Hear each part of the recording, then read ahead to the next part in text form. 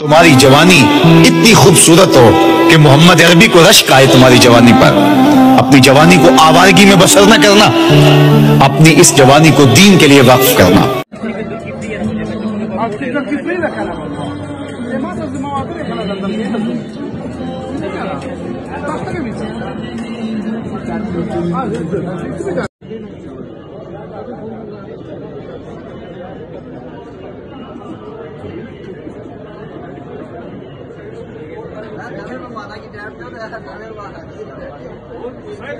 धन्यवाद